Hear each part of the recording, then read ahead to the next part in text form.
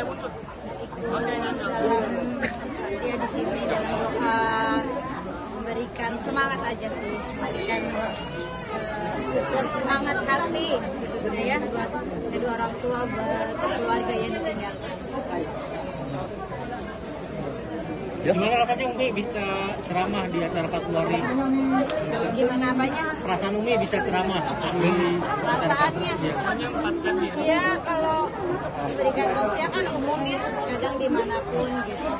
Cuma kan eh, saat di sini kan berarti memberikan bukan kita tapi memberikannya lebih kepada memberikan semangat ya semangat buat orang-orang yang ditinggalkan jadi kita nggak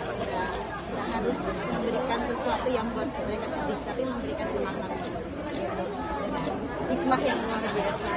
Ini bangunan satu almarhum dan Mary sendiri seperti apa dan sejak kapan sih? Kalau saya eh, nggak kenal pribadinya ya, mereka berdua ya almarhum almarhumah cuma pernah bertemu eh, beberapa kali dengan eh, almarhumah dengan Vanessa gitu. Tapi nggak kenal pribadinya cuma memang begitu bertemu aja karena ngeliat anaknya santun ngomongnya apa humble saya pikir ini anak memang orang baik.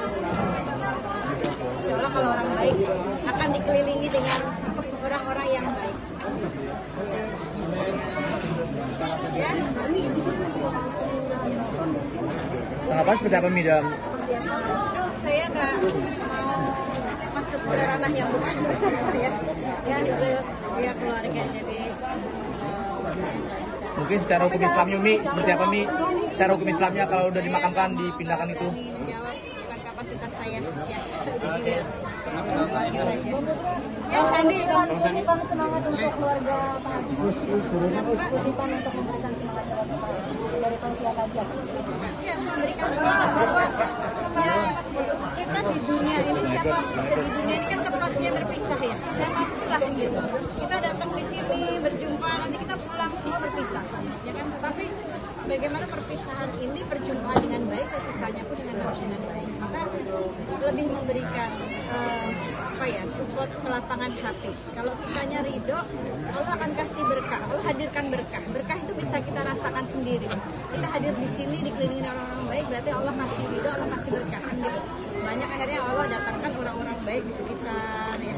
Itu itu sebuah keberkahan. Maka eh, supportnya ke mereka bahwa fokusnya saat ini hanya eh, harta yang surga yaitu eh, anak yang ditinggalkan supaya menjadi anak yang soleh soleh ya. Saya kalau tadi menanggapi sedikit. Iya tadi lihat, tadi sempat ke atas, sempat ngedoain, sempat ngegendong. Ya hanya bisa doain ya anak eh, apa namanya jadi anak soleh yang Allah bisa memberikan mahkota buat kedua orang tua. Mas Andi menanggapi Fokusnya kan di anak ini. menanggapi sedikit uh, bukan hanya di sini mengadakan keluaran tapi juga di gratis seperti apa Bang? Tanya Om aja. Oke. Assalamualaikum Umi.